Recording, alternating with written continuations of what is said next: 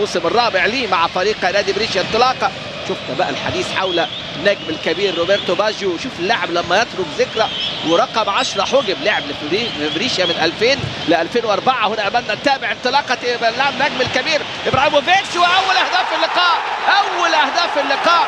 لم يصمد فريق نادي بريشيا أمام ضغط فريق الميلان وامامنا بواتينج يسجل في هذه الكرة وفي هذه اللقطة. ادي أمامنا هنا اللاعب بواتينج شوف الكرة وشوف المهارة. ادي بواتينج أمامنا. أول هدف ليه في 13 لقاء في ساريا آ. نجم اللي أمامنا هو لاعب السابق في نادي بورتسموث أمامنا. يتلقى هدية وتمريرة رائعة الحقيقة في هذه اللقطة. الدولي الغاني اللي طبعا شقيقه جيروم اللي بيلعب في المنتخب الألماني. شوف أمامنا إبرا. شوف اللمسة من إبرا والتحرك الجميل من جانب اللاعب بواتينج عشان يسجل بعد مرور يعني ثلاث دقائق و20 ثانية بالظبط الهدف يعني في الدقيقة الرابعة. هدف بتحرك جميل قوي. تبادلوا مراكزهم. راس الحربة خد الجانب الشمال واللاعب اللي بيكمل من عمق وسط الملعب بواتينج أمامنا. يضعها بمهارة وطبعا يعني الحارس ماتيو سيريني لا يستطيع أن يصنع شيء أمام مهارة هذا اللاعب أمامنا. هو شوف أمامنا اللاعب اللي يعني يجري بقى يعني